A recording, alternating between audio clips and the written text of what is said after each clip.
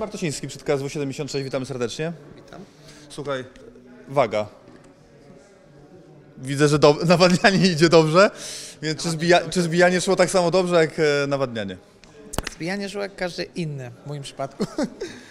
Żadnych turbulencji, wszystko było pod kontrolą? Nie, tam na końcówce było, na tych 500 gramach musiałem tam się cofnąć ze 2-3 razy, bo y, spróbowałem nowego sposobu, zamiast sałem y, były te namiociki do zbijania. Ja nie wiedziałem ile takim namiocikiem może zejść, więc jak one były blisko, to po prostu robiłem sobie tam jedną taką sesję na te ostatnie 500 gram i szedłem się zważyć na główną wagę, bo była blisko, no bo nie wiedziałem jak to działa i jak zejść, wiesz, no jak już te sauny robiłem gdzieś na końcu, no po prostu wiedziałem, a chciałem sobie spróbować te ostatnie pół kilo, tym zobaczyć jak to w ogóle działa i dlatego musiałem ze trzy razy się zważyć, bo po 200 gram, 200 mi zeszło, 200 jeszcze stuwa mi została, mówię, jednak mi się nie podobają te namiociki. Słuchaj, wczoraj powiedziałeś, że e, lew na sawannie atakuje najsłabszą ofiarę, będziesz atakował najsłabszą nogę. Zapytaliśmy o to Krystiana, on powiedział, że no możesz łapać tą nogę, natomiast on wtedy cię uderzy dwa razy mocno i szybko tą nogę puścisz. Jest to MMA, nie grappling. ma takie prawo.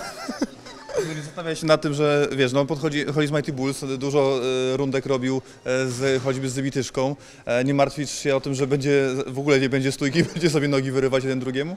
Wiesz co, no może tak być. Ja akurat jestem po obozach grapplingowych na Polegloku, po Piranii, miałem okazję porobić z solidnymi gośćmi i myślę, że jestem przygotowany na partner na pewno.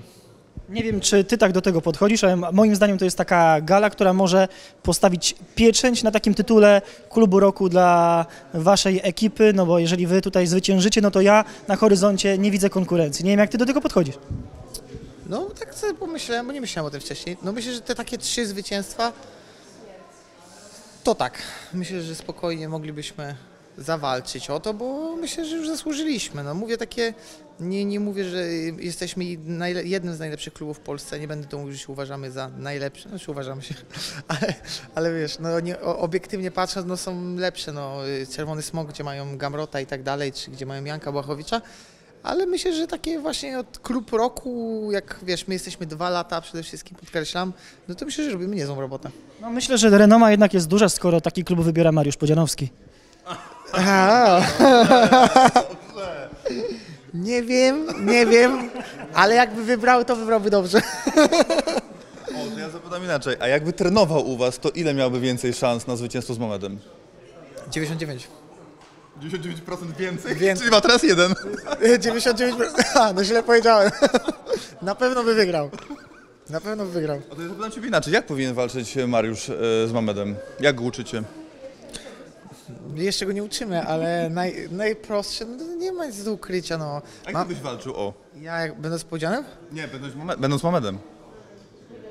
No Mamet będzie walczył jak zawsze. Będzie zapierdzielał na nogach, nie będzie zostawał w miejscu z akcjami i będzie robił bardziej niekonwencjonalne akcje, takie, których Mariusz się nie spodziewa, bo Mamet przede wszystkim tym zaskakuje, no a nie oszukujmy się, stanąć przed Mariuszem, no to nie bardzo. Przynajmniej ostatnia walka. Jeśli chcesz stać z Mariuszem, wymieniać ciosy w miejscu, tak jak Michał, no to nie ma to sensu. I Mamet dobrze o tym wie, więc na pewno będzie nieuchwytny na nogach i będzie po prostu kąsał. Więc myślę, że a bardzo dobrze to robi, więc, więc, więc no ciekawa walka. Czy, pytanie, czy Mariuszowi uda się go zamykać, gdzieś klinczować, ewentualnie iść w tę bójkę, no bo to Mariusz będzie potrzebował. A jak uda się Mamedowi uciekać na nogach? No chociaż Mamed bardzo dobrze pracuje na nogach, to jest naprawdę jego taki konik. Powiedz, byłeś na obozach grapplingowych, na Leglock Campie. E, czy zawodnik 8-4 jest dla niego sens iść po nogę ciężkiego zawodnika? Jest szansa tą nogę wyrwać? Wiesz co, wszystko zależy jak... Kurde, Czy to ty się... próbowałeś się z ciężkimi?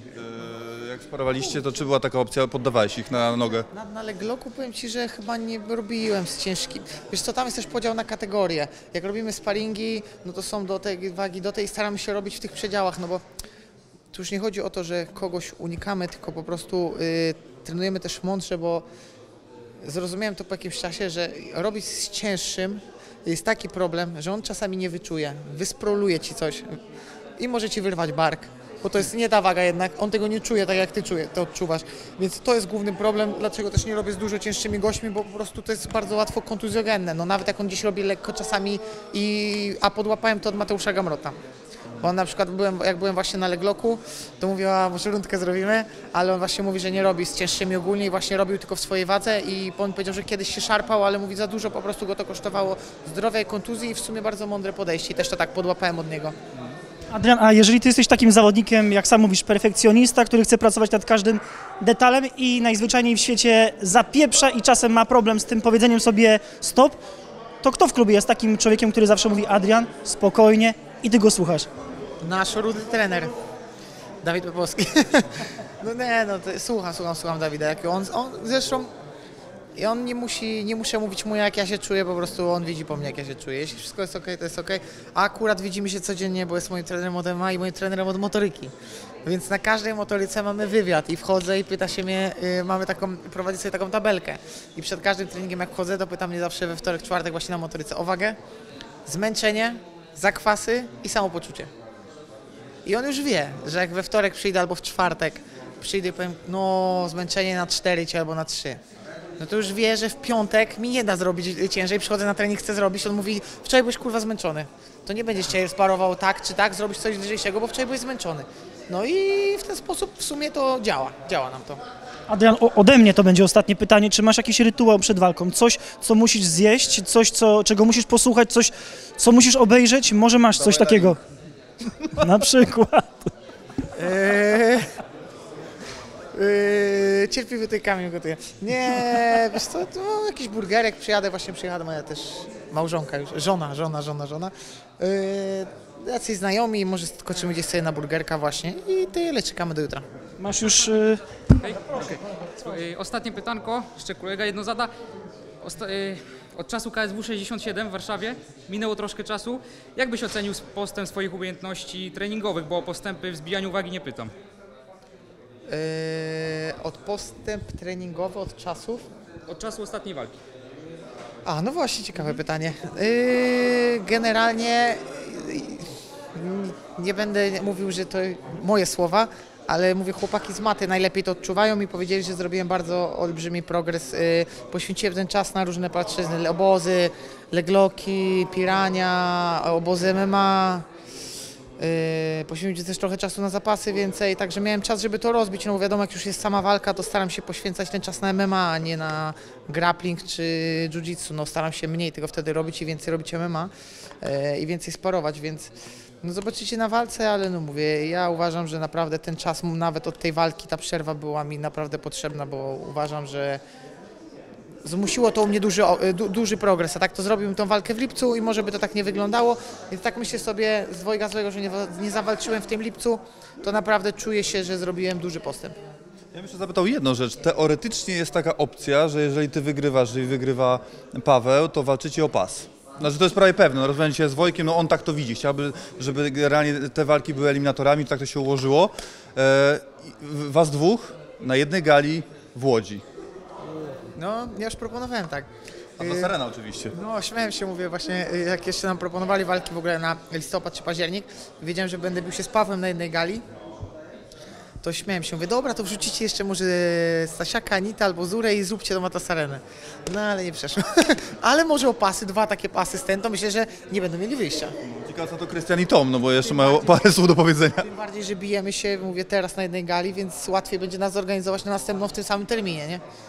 Bo nie ma rozbieżności walk, więc myślę, że to jest do wykonania. No, szczególnie, że Łódź e, bardzo dobrze się sprzedaje, jeżeli chodzi o e, KSW. Na koniec chciałem jeszcze jedną rzecz, rzecz zapytać. Wczoraj o tym wspominałeś, że e, generalnie humor wam dopisuje ciągle i kręcenie beki jest na wciąż. A jest w którym momencie wy- przestajecie, jest, staje się w szatni poważnie? To 5 minut przed wejściem, do rozgrzewki, po, czy generalnie beka jest, jak słuchacie muzykę, to jeszcze są żarciki? Bo musi być taki moment chyba, czy w ogóle nie ma takiego? Rozgrzewam się, to tam fokusuję się na tej rozgrzewce, już tam wiadomo, mniej coś tam jeszcze sobie pośmieszkuję, ale to już tak skupiam się na rozgrzewce. A jak już jestem rozgrzany i tam po tej rozgrzewce, wiadomo, przepałce gdzieś mamy te 20 minut, pół godziny, to ja tak też na wesoło wolę. Nie lubię się tak zamykać, fokusować, wolę sobie się pośmiać, także raczej też na wesoło. No chyba tyle od nas i czekamy na emocje w klatce, no bo eliminator rządzi się swoimi prawami. Nie może być nudny, bo jeszcze się Wojek rozmyśli. Tak jest. Znaczy, lepiej, żeby nie denerwował. No i czekamy oczywiście też na twoją walkę o pas. No, dziękuję. Dziękujemy. Dziękujemy, Adrian.